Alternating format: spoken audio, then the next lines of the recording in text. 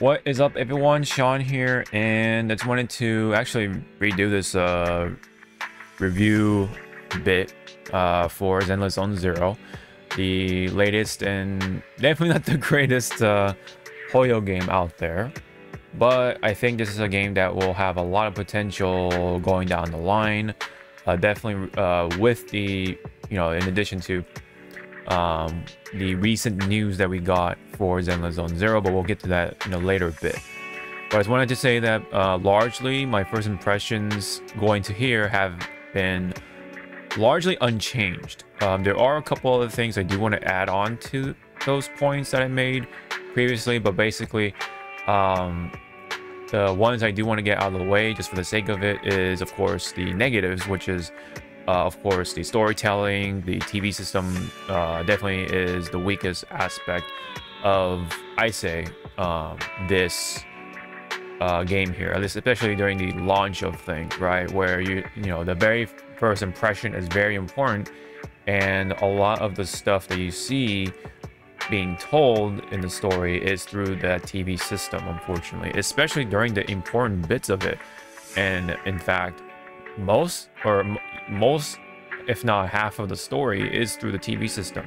You know, I, when you traverse around uh, place to place is through the TVs. Thus, you know, the TV system, right? And especially during the important bits, like I said, uh, one for one example, the uh, when you're taking the people onto the train, so they get blown up during the the whole bit with Vision, right? That Vision is the evil evil corporation that is trying to um, cut costs and build their well vision, I guess you could say, and essentially, um, you know, they don't want to uh, put out money to move the people out, so instead they're just gonna just blow up the whole entire thing. That's crazy. That's like over the top, some over the top stuff, but yes, messed up nonetheless, and there is a story to be told. And, and unfortunately, again, you are only seeing the sort of actual activity or plan through the TV system. So you're not really seeing the people going to the trains. It's not very engaging. It's very immerse, Im immersion breaking. So you're not uh, as engaged as one should be with this type type of story.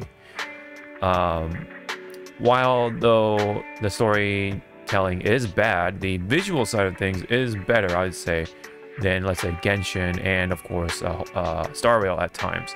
Although I think Genshin is by far the worst one of the three uh, out of the modern Hoyo games, in my opinion, just because it, they do they do this uh, uh, the most bare minimum of telling the story, and at the same time repeat a lot of the points over and over again, thanks to Paimon and stuff like that.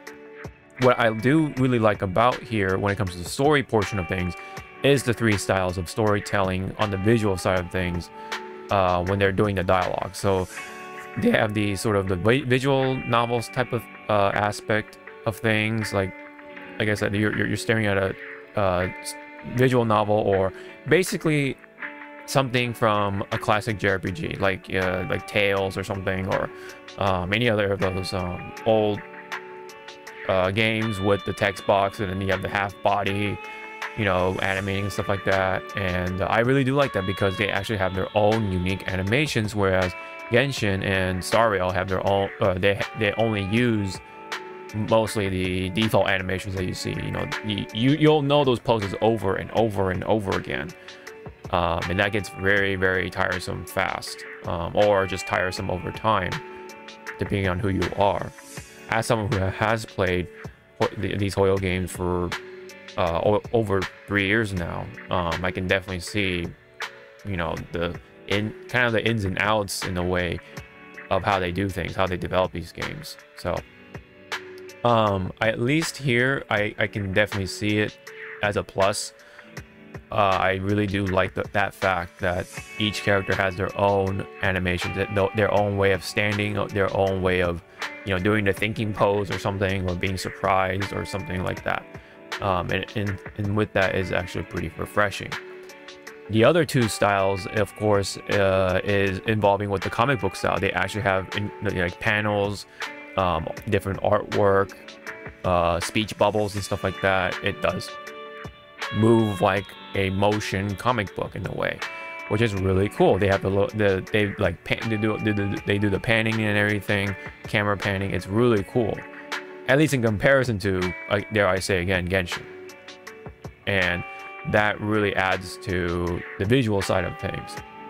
The other style, of course, lastly, of course, is those really highly qual high high quality um, anim uh, cut, uh, animated cutscenes. Excuse me.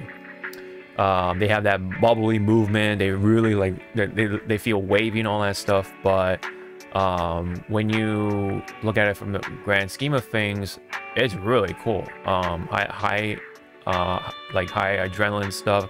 It really adds to the character's movements. It gives them character.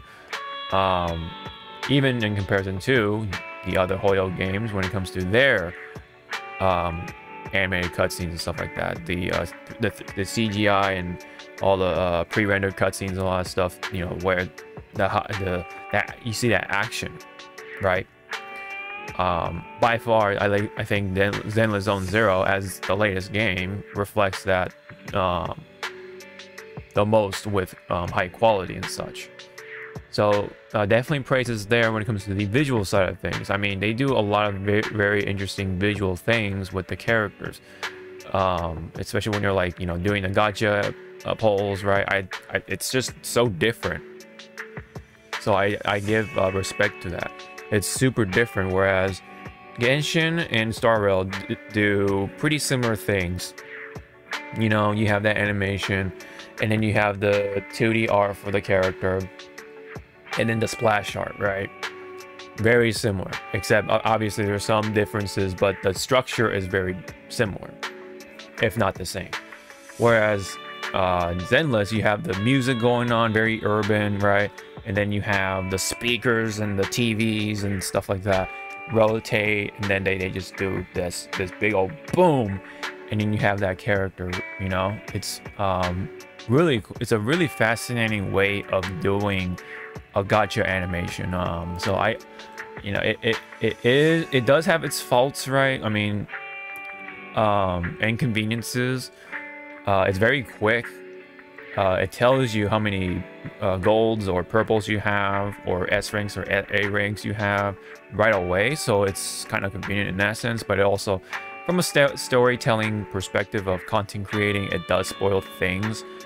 Uh, so it kind of like miles down the surprise, quote unquote, but you still never know who it is or what it is. It could be, yeah, you, you may have been the 50-50 or you've gotten a duplicate of the banner character. I mean, that's there's still that sort of surprise. But overall, I do like this uh, animation um, more ways than one. Whereas, you know, um, Genshin and Star Rail kind of take more of a classic approach. It's very familiar, it's simple, um, you know, it's there. But I say Star Rail, while the animation of itself is good, it takes the longest just to know if it's a purple or a gold. You know, so the convenience is lower, probably the lowest. And and then um, uh, Zenless here kind of takes the cake in my opinion when it comes to the sort of convenience versus the overall animation quality, I guess. But even in the anim animation quality department, uh, Zenless takes that, in my, in my opinion. It, it does something different. It just looks cool also. The music is, yes, uh, pretty cheesy, especially once you get that S rank. But, you know, it, it's something you're kind of um, uh, grown. It, it kind of grows on you in a way. It's just something that, make, that makes you laugh in a good way, I'd say. Um, there's just a lot of good things about the animation side of things. Uh, you know, the attacks, the visuals, right? Um, so everything visual pretty much does look pretty cool. The graphics and everything does look pretty good. I like, you know, this sort of stuff too, like the menu backgrounds with the characters and stuff like that. You can unlock uh, more of these over time when you in increase the social ranks, right? The trust aspect of things. It's kind of like Persona with the um, the social levels and stuff like that. Uh, same thing here, except that it doesn't it doesn't uh, take into account of like you know more attack or more damage or anything like that. It's just bonus stuff like cosmetics, uh, including avat I think uh, avatars or something. But you get a different background once you max their trust levels or trust ranks. So it's it's kind of nice. It's uh, it's like little bonus things, just, just those those little things that add up, right? Now, when it comes to more towards um, the gameplay side of things, it, it, it does can it does tend to get kind of messy. There is ups and downs, more downs than anything, unfortunately, but uh, potentially that will get addressed uh, during the recent news of things. But let me go over the negatives already. So uh, we do have the UI. The UI is kind of a mess right now because um, it, it, it definitely depends on who you are. Like it, it's very case by case because people are different. They see things different. But I kind of definitely see the messiness of it that people have been pointing out. For example, I kind of wish they don't do that sometimes. It's kind of annoying. Like, okay, you know, they want to talk, but they talk, and then um, it's like, dude, I just want to pick a character. But anyway, you kind of just do this, and you can do it. You can avoid that. But anyway, um, when it comes to stuff like their equipment, right? That's essentially like their equipment pieces that have like the stats. You know, you have attack, crit damage, all that stuff. Um, they, they usually come in armor pieces, so you have like the distinction of the helmet, you have the arms, the legs or boots, um, chest piece, so on and so forth, depending on which game it is, right? Yeah, you know, in Genshin you have goblets, um, and then you have uh, planets in a way, and the galaxy chains, I guess you could say, or the tails or whatever you want to call them, um, in Star Rail. But here, they're all discs. And notice their shape, right? There's no distinction between each of them. You can't even tell right away like which one is which and such like that. So it actually really takes um, is taken for granted of like what what uh, the importance of shapes are like in games. Shapes help distinguish things right away. Like you know like which one is which just by just boom like just by looking at it in a second. But you have to click through like okay, which one is which? Oh, okay, so um, this one is HP, this one is attack, this one is defense, so on and so forth. Um, the only way for you to memorize is just like the placement, I guess you could say. But you know, just it's really it would be really nice to see if um, or see uh, if the shapes can come through. But uh, right now, these are supposed to be discs um, which goes with the theme of like you know CDs, TVs, and cassettes, and VHSs, and tapes. Right? They like to play around with the media stuff, the physical media, as part of their theming, which is cute, but it kind of backfires in the in the convenience department because um, again, it, it, it, it loses that distinctiveness between each of them. So you have to read through just to know which one has the stats, right, that you're looking for. You know, you have the attack percentage, or, you know, for example, Grace, right, she wants the anomaly stuff, but there's no there's no indication right away that these are nam pieces uh, unless you actually have to click through them. So I wish at least they put the main stats on the, the, the main screen right here right, uh, right away so you just know you know which one is which even if they just put like one, two, three, four, five, that's not gonna work. I, I feel like they need to at least put the main stats on each of those discs or on, at least on the sides of the discs just to let you know hey like this is this and that and stuff like that. Things like that are a mess including the w engines. Um, all these are like just balls instead of like you know distinctive sh shapes as well. Uh, they need to or they should do that because it separates and you can know like, oh, this is for um, anomaly. This is for impact. Oh, this is for the defense people, or this is for the attack uh, characters. But you have to again read through your way essentially of which one is which. And he, and yes, there are those tiny little symbols right there, but I, I just wish that they have distinct shapes for each class or whatever that way you can just like see them, boom, and you can just make that distinction right away. You know, this it's that key word, right? Distinction. It, it, it, definitely is taken for granted until you lose it, right? So um, that's another thing they should take into consideration is to just help um, make things way easier for um, navigating through the menus. Also, make distinct shapes and logos to help you know pick out uh, which which which is what right away just to you know add the convenience it really is the small things that really count to a big thing you know it's just those things uh the, little things that add up to a big thing, you know.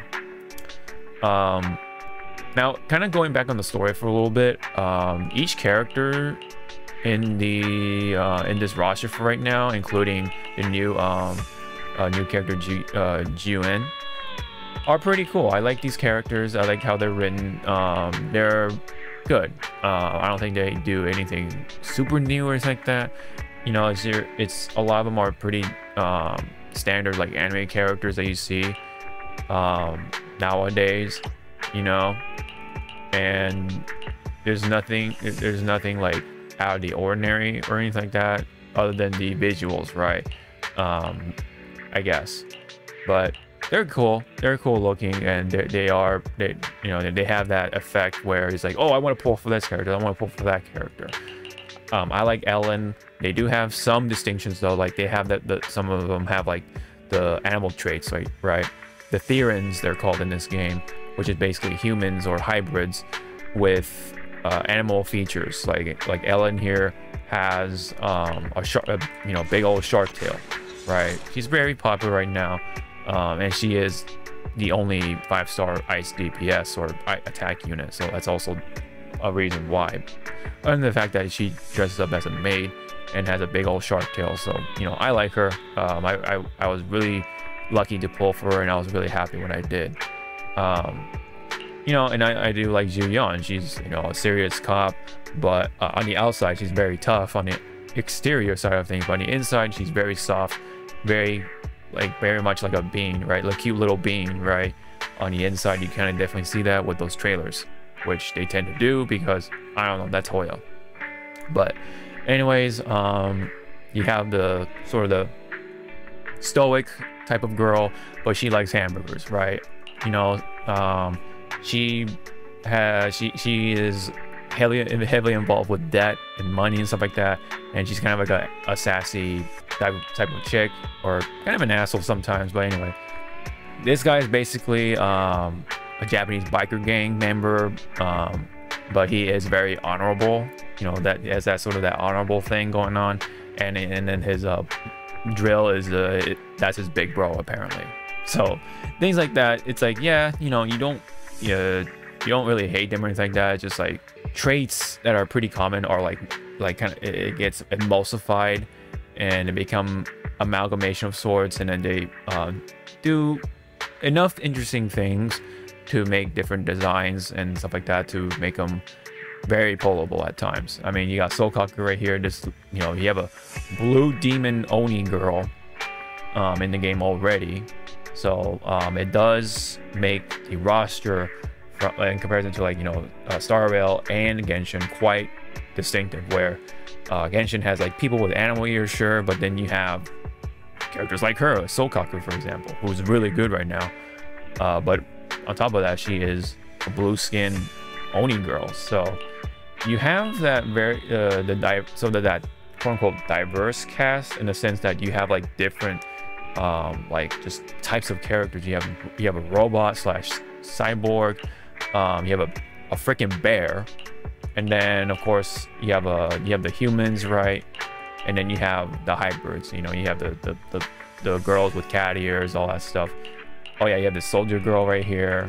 You know, and then you have a little little wolf. So obviously the the, the furries will definitely love that. Um, if there is a Hoyo game for the uh, furries, this is definitely for them. Hopefully they um, capitalize on that with furry characters. I'm all for different things. Um, I'm all for um, variety because I think variety is a spice of life. So they definitely have a big potential in their hands if they keep up with this sort of um, character design philosophy. So hopefully they come out with more um, of these anthropomorphic characters um, in the future, especially when there's only two of them right now, if I'm correct, with uh, Ben Ben Bigger and uh, Lycaon right here, or Von Viken. So, so, so far, I think they're pretty cool. I uh, I think they're it's really cool just with that fact alone, right? In comparison to other Hoyo games, anyway. The combat content right now is already looking um, a little better than let's say Genshin. The challenge is uh, you know pretty good for right now, but you know, as of launch to here, it does get pretty e it is pretty easy in a way um, the combat itself is uh, you know a mixed bag depending on who you are if you are coming in with a very fresh mind you, you definitely will like it but if you've played enough games with a lot of action especially with like Devil May Cry uh, Bayonetta um, you know so on and so forth you'll you'll find this very watered down or bogged um, very simple. It's definitely for the mobile audience, right? With the the the people who are on their smartphones. Uh, this is definitely you know a game from China, so this is definitely made for Chinese players who are very mobile, right? Similar with Japan as as well. So people are going to play this on their phones, definitely, right? There's there's that big audience for that, and this game is definitely catered to that audience. Um, with that, you're just like mashing the attack button and then you wait for the uh, the chain uh, mechanic to activate, which is the tag mechanic in this game. You know, as you play with three characters at a time uh, in each level, and you know you can kind of go bonkers with it. You just attack, kind of dodge uh, here and there, of course. Um, you can parry as well, which is honestly very satisfying. It grew on me quite a bit the more I did those parries. Like you, you, uh, when you um, see that yellow glint and then you hit the tag button and then you just hear that ding sound and it's just so satisfying especially when it when it's like involved with a giant monster and you just whack on you. And then you block with someone like um Anby or Soukaku. They just block it like it's nothing but you see that big old spark the blur a, a filter and everything. It's really satisfying. And then you get the uh the defensive um assist attack right after. So you get something out of it. So each of those characters have those mechanics that uh, involve with dodging assists, um, defensive assists, and of course uh, tag uh, esque um, attacks. So when you every time you chain, they do some. Uh, they have their own distinctive sort of attacks or effects and stuff like that, that. You know, which does bring something to the table. But at the end of the day, you're just mashing through, and uh, that is kind of a negative for me maybe they'll add something more to the uh, in the future of things as they are doing something about um, a lot of the things uh, that we have been complaining about already. So that's good. I mean, despite me been complaining about um, a lot of the things so far anyway in this review, they are already have um, are being mentioned in their uh, uh, their log right now, their their dev log. So that's pretty good. So hopefully they address like the um, the UI stuff, the menu stuff. Um, the battle pass is just like this, more the same. Uh, the grind is like there, of course. Um, a lot of the energy is um, is what you needed for a lot of the activities to level up your characters. so the grind is very similar. Um, but although at least they give you 240 energy right away, unlike well Genshin, right? Even up to this day, they just they just gave us a 160 um, for the limit, but the recharge rate has not been changed at all. Now here, uh, what also makes things a little different here is that while they don't have an overcharge system for the energy, they, they allow you to have ex uh, 60 extra energy per day when you uh, drink their coffee. So it's like, it's kind of weird. It's uh, kind of cute, but also strange. But hey, I'll take extra energy any day. Um, and also, when you drink their coffee, depending on which day it is or whatever, you have different effects of, oh, you can get extra um, materials depending on what it is, uh, whether it's for your character or your W engine or your for your weapon or um, anything else really. So pretty, pretty interesting mechanic, but yeah, it helps with the grind a little bit uh, more ways than one. Now, when you start out uh, with these games, uh, especially with Zenless, they give you like a discount rate for these uh, banners, and then you will get your five star right away, um, which is pretty nice. They'll give you like, I think your first 50 summons, they'll guarantee you a five star of, store, of sorts, um, which is pretty nice. But that being said, that being said, um, I feel like they you are kind of forced to pull anyway because of the limited um, cast of the characters they give you. because a lot of these important characters are behind gacha. Uh, you know, for example, Lycaon as a ice uh, impact unit, um, pretty important right now because a lot of the enemies are ice or have the weakness of ice, right? And a lot of these characters are behind the gacha, including Lycaon, um, Ellen, you know, is really good because of that as well. Um, Ether is another one, so that's why uh, is very, pretty important in my opinion. And then you have Soukaku being really good for support, but also has ice, right? So um, things like that, it's kind of annoying. It's kind of scummy in a way, but that's, you know, gacha for you, I guess. But I think it's, it's a little extra scummy here in this case, just, just based off of that. Now, there are more complaints uh, that I would like to mention, but they're going to get addressed here anyway, most likely. So I'm just going to just go ahead and bring up this already. So they they have been addressing and acknowledging the fact that yes, um, the TV system is a problem. And addition to that, they're going to add a manual chain attack where, yeah, I mean, sometimes the chain attacks are unnecessary and you want to keep using that character for a little longer, but they kind of just feel like you're being forced to chain instead of just keeping keeping up the damage with uh, a certain character, for, for example. Um, you can also cancel chain uh, chain attack combos um, via via option, right? Um, that'll be for a future update. And then, of course, uh, you'll be able to look at the uh, enemy's attribute resistances uh, or elements in this case, or um, yeah, that's the elements, right? Like uh, fire, uh, physical, ice, so on and so forth. Attribute resistances is something you can't really see right away, so they're making that easier for you to see um, so that you can pick your agents um, accordingly. Um, and then even, you know, I addressed a complaint where, you know, you you go out your way to unlock certain agents in the ban uh, gacha banners, but they don't allow you to just walk around the world with these agents. Well, that's being addressed somewhere in here.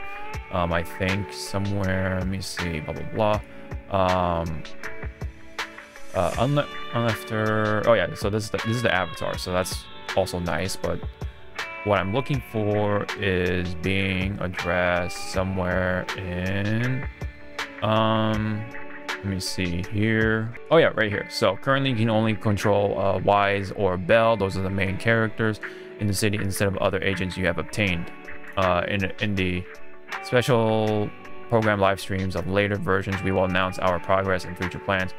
Um, so it basically is addressing the fact that, yeah, people would li like to um, get uh, have other characters on the screen instead of just Wise and Belle. You know, you go on your way to pull, pull these agents for you to not be able to see them in those um, modes or whatever. So, um, which is a standard in Star Rail and Genshin. So, um, I even complained about that, and I got Ellen right after that. So I felt like, hey, you uh, complain about the game, the game will offer you something, maybe. maybe if you complain just enough. But no, um, I'm glad that this this is being addressed. It is a cosmetic thing, but you know, again, it's the small things that really do add up eventually. So things like that. Uh, they, they yeah, and yes, they did address the TV stuff um, right here.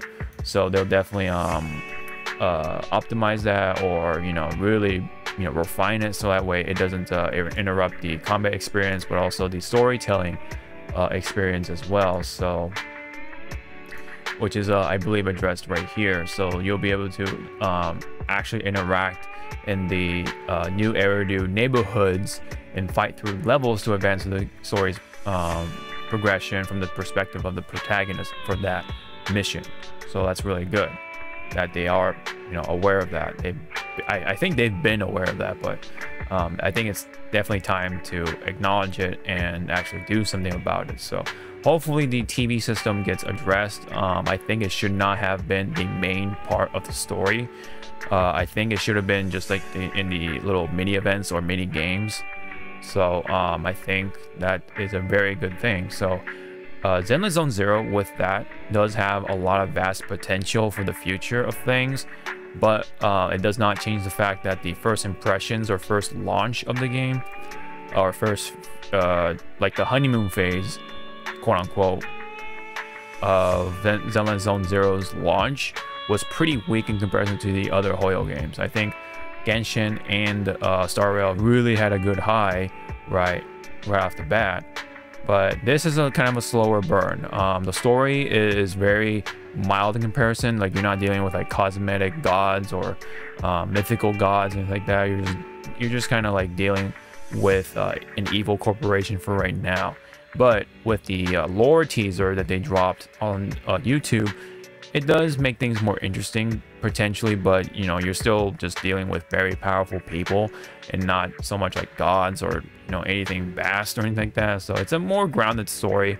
And um, you know, I think that's a kind of a refreshing thing. Yeah, I mean, yeah, you're dealing with monsters also, but you're kind of like dealing with dealing with like sci-fi elements um, in a different way, I guess.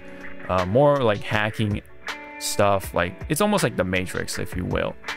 Um, and then you know there's that there, uh, there is a potential collaboration with Street Fighter 6 so hopefully that'll be um, bearing some sort of fruit at the end um, so yeah a lot of good things coming um, I'd say so definitely a good vast future but uh, like I said the uh, launch phase of things was really weak so with that uh, I'm gonna rate my score based off of that experience um, so taking everything to account I'm gonna go ahead and definitely give it like a 6.5 out of 10, I think, um, which is a pretty good score, all things considered. Uh, my average is 5, uh, 5 out of 10.